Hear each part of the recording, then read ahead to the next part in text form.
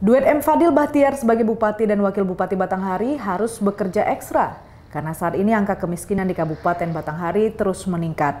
Berdasarkan data dari Badan Pusat Statistik Kabupaten Batanghari, pada tahun 2020 untuk kemiskinan makro sebesar 9,65 persen atau sebanyak 26,24 ribu jiwa.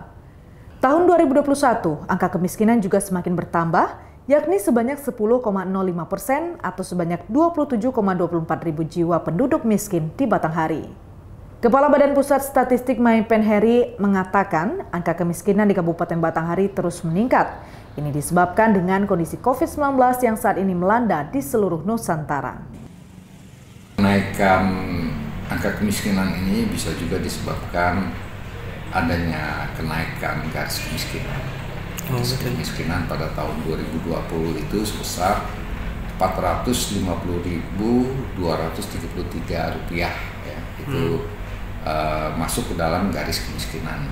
Sementara itu di tahun 2021 itu garis kemiskinannya naik menjadi 462.468 rupiah. Dikatakan Maipen Harry, selain dari COVID-19, angka kemiskinan meningkat disebabkan oleh inflasi atau kenaikan harga saat ini, serta garis kemiskinan yang naik.